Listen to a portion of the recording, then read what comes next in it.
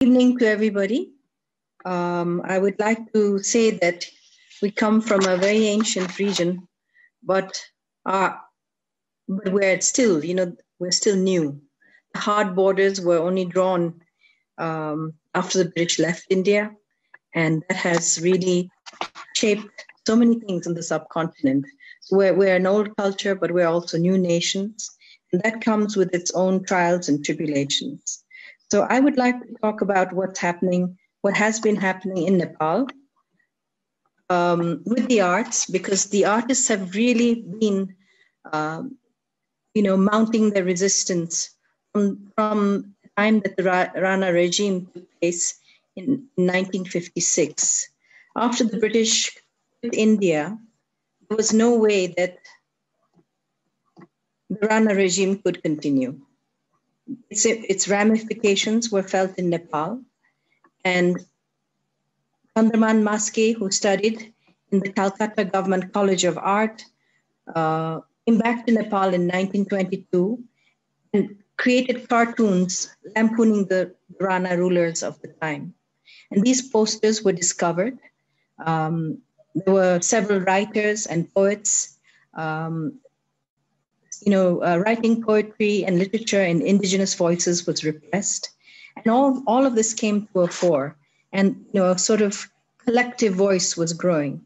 So by 1951, um, the people were able to overthrow the Rana regime, and King Tribhuvan was restored as the king. So amidst this euphoria and jubilation, Nepal opened itself up the rest of the world following the overthrow after decades of struggle and sacrifice of the 104 year old Rana oligarchy and the emergence of a democracy emerged in Nepal based on the model of Westminster. But in 1955, when King Mahendra took over after the demise of his father, uh, he started a coup in 1960 and imprisoned BP Koirala and established the partyless that system. But at the same time, he was he understood that culture was a, was very important for national identity, and at this time we see that all the the uh, you know government institutions to promote the art were built, like the Nepal Association of Fine Arts, uh, several other museums, all happened during this time. This period was marked by bucolic landscapes, return to village programs and abstract experimentation. And the government commissioned artists to create works for government venues. In 1972, with the death of King Mahendra, King Birendra was crowned, and this period was marked by a period of sycophancy and resistance. In 1985, Nepal television was established. Global politics was able to be was able to enter the room of every citizen. I remember watching the fall of the Romanian dictator Nicolae Ceausescu in 1989. The resistance by the public to a dictator made its mark, and the disenchantment with the autocratic rule of King Birendra created dissent on the streets. In 1990, there was a small revolution, and more power was, was conceded to the political powers, to the political parties. From 1996 to 2006, that's 10 years, we had a Maoist insurrection. There were 17,886 deaths, 8,191 disabled, and over 1,500 people were dis- disappeared. This was also a period of trial and tribulation and great sorrow because this was also the time in 2001 when we also had the Royal Massacre during this time, I would say, began the new age of artivism. And I would like to mention artists like Manoj Babu Misra, Durga Baral, Sashi Shah, Ragini Upadhyay, Jyoti Dewari, Ashmina Ranjit, Sujan Chitrakar, and a host of other artists came out on the streets with performances, installations, exhibitions, and they collaborated with writers, poets, with socially aware art practices and try to change and mount pressure on the government. In 2006, 2006, 2009, we had a new constitution. Uh, the king was overthrown. And this constitution called for 33% representation of women in parliament. It also gave more voice to the indigenous people. So, from the art side, uh, we decided that it was important to have an international art festival that explored the status of women to the work of artists and poets. So, in 2012, we hosted the first Kathmandu International Art Festival.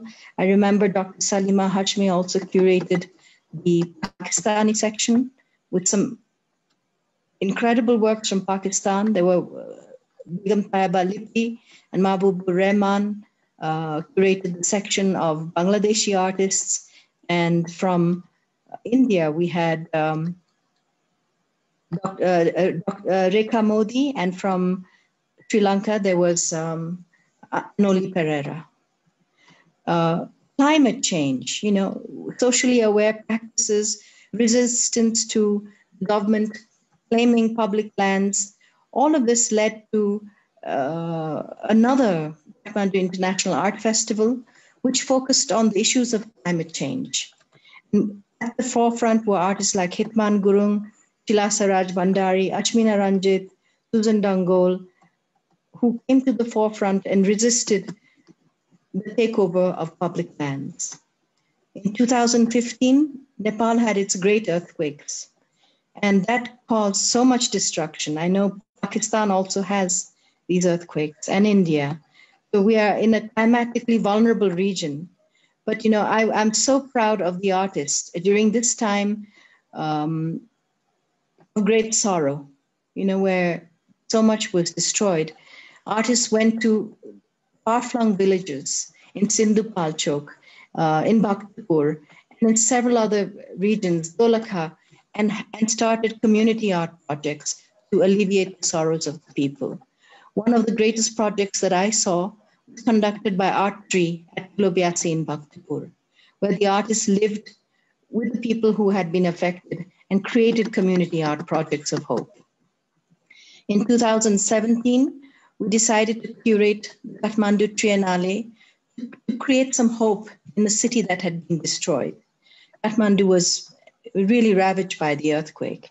And at that time, you know, uh, artists paid homage to the city uh, by, by dedicating the whole Triennale to the city. It was called The City My Life, The City My Studio. Um, the indigenous artist S.C. Suman raised his voice against the in- environmental impact of creating Nijgarh Airport, which would mean the destruction of 20 lakh sal trees. These things that are happening parallelly in Nepal. Uh, there's also resistance to the over politicization of the medical sector by ArTree, the public performance, and they call this performance a culture of silence, uh, and resisted the culture of fatalism, which takes over so much in Nepal. Uh, artists like Hitman Gurung and Sunil Sigdel, Mick Limbu, uh, talk about the pain of migrant workers. And migrant workers um, the issue of migrant workers is not only a Nepali problem. I meet workers from Bangladesh and Pakistan when I travel to the Middle East, from India. So, you know, so many bodies come back in coffins. Uh, so this is a problem that uh, that artists have also been addressing with their work. Um, in Photo Circle, curated when they curated their um, Photo Circle event, talked about the pain of indigenous people who have been worked, who've been moved out of forests to create nature reserves. Um, and uh, last year, uh, I'm just about. Ji, please, please. Yeah, please. we exhibited the works by Lavkant Chaudhary, a Tharu artist, and Subhas Tamang, who researched the Mulki Ain created by Jang Bahadur in 1854, where certain castes were deemed enslavable and expendable.